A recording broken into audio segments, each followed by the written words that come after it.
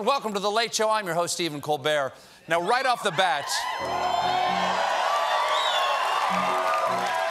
I think, I think, I think right, right off the bean here, we got to get to the big presidential story uh, that broke at the end of last week. Pretty dramatic stuff. The president, the president, on camera, shocking the nation. Hey, the first presidential kiss cam. President Carter and Rosalynn, can we get a kiss cam? No, no, no wave, a kiss. Yeah. Yeah! Oh, yeah. We're going viral. That's nice. That's nice. That's really heartwarming, you know, to see that. Yes. It's really incredible to see on camera, you know, uh, the 96 year old president and his wife uh, being uh, pushed into public displays of affection by a screaming man with a PA system, you know. Just gets you right there. We need stories like that. We need all the smile file stories we mm-hmm. can get right now because, you know, mark your calendars. We're in day four of Trump's national emergency. We are in what future historians will call crisis on the southern border. Press one for English, press two for murder. As you, as you recall, this emergency started right after Trump did not get funding for his border wall from Mexico. Then we had a midterm election where people didn't want the border wall. Then the new Congress wouldn't give him money for the thing the voters didn't want, so he shut down the government to get the money for the thing that no one was asking for. Everyone was mad at him, so he declared victory and emergency at the same time. and told us all about it on Friday in the Rose Garden doing a strange and incoherent appearance. It was clear from the very beginning that the true emergency was taking place in his skull up here, and the old uh, the bone box.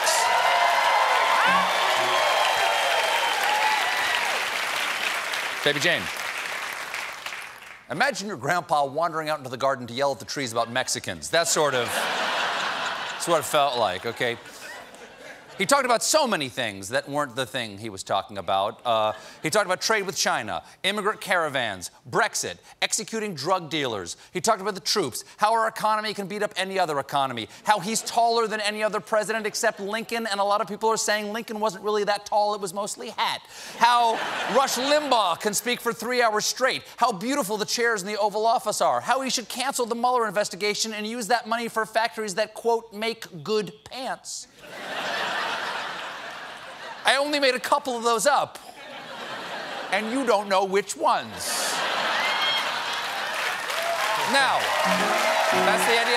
That's the that gives you the uh, that gives you the idea, It's the whole situation. the general idea of what it was like.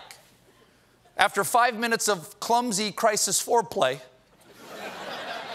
he ambled up to the idea of an emergency.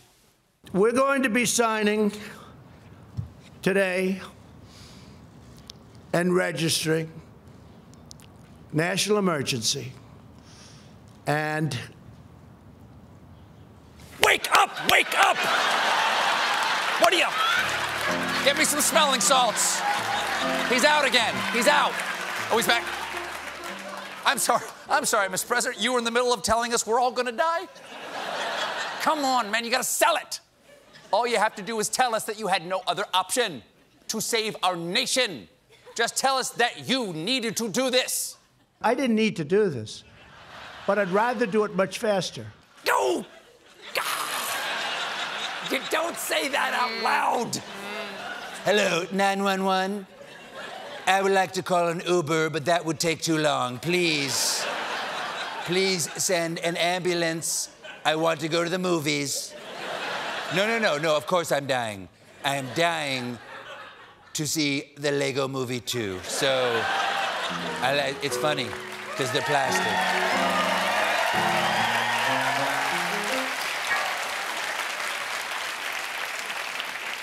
There's already a wave of lawsuits challenging this declaration of emergency, including one from a public advocacy group representing three landowners in South Texas and the Frontera Audubon Society. Audubon, you do not want the birders mad at you, okay?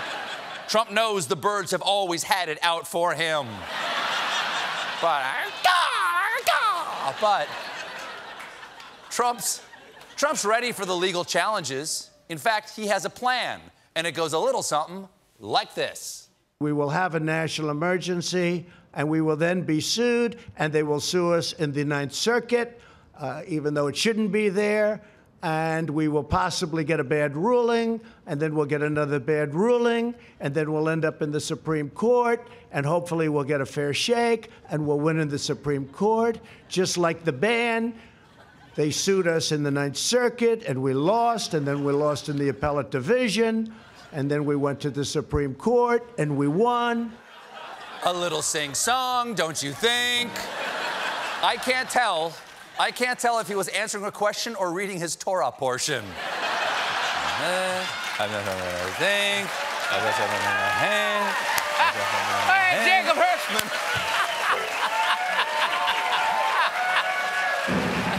Ah, Jacob Hirschman. Brian. That's good. Da-da-da-da. What does he sing? It was it? B flat. B flat. B flat. Yeah. Uh, every time. Every time he nailed in that B flat. Yeah. you got to give him up for that. Yeah. You got to give him up for that. Yeah. Yeah. eh. It could also be a glimpse of how Trump's going to frame the rest of his time in office. And then Mueller's going to release his report. Then Congress will start impeachment proceedings. Then I'll suddenly resign to get the heat off. Then I'll be indicted by the Southern District of New York for years of committing financial fraud. Then I'll make Lindsey Graham hide me in the trunk of his Nissan. Then I'll try to fly to Moscow on my private jet, but the pilot won't want to be an accomplice. So I'll try to fly the plane myself, but I'll hit too many buttons and plow it into a nearby 7 Eleven. Then I'll be embarrassing photos of me trying to salvage hot dogs from the rubble. He also, it's got to stop eventually. Am I there? Yeah, yeah, yeah, right in there. Come on. Yeah. Uh, I have a terrible Trump impression, but perfect pitch. Oh, yeah. Perfect. He also talked about North Korean dictator and all the members of the Addams family combined. Kim Jong Un. He explained just how far relations with North Korea have come. When I came into office, I met right there in the Oval Office with President Obama. And I said, What's the biggest problem? He said, By far, North Korea. And I don't want to speak for him, but I believe he would have gone to war with North Korea. I think he was ready to go to war. In fact, he told me he was so close to starting a big war with North Korea. I don't want to speak for Obama, but he said he wanted to start a thermonuclear war, ending all life on Earth.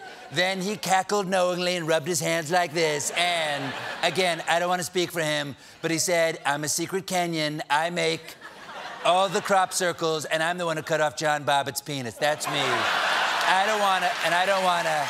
I, I, and look, I, I, I.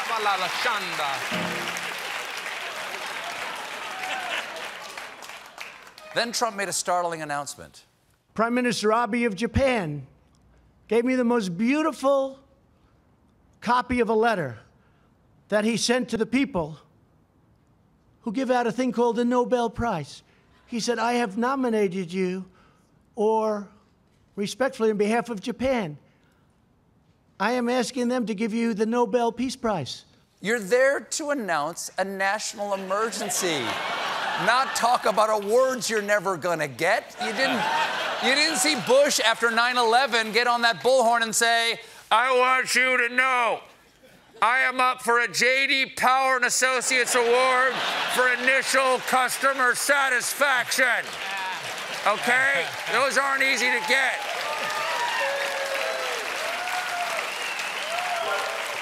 Thank you, John. Down.